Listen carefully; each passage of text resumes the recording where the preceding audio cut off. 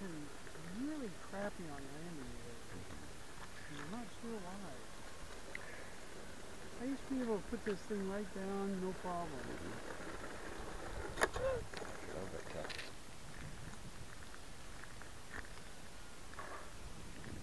Why are you bouncing? Oh.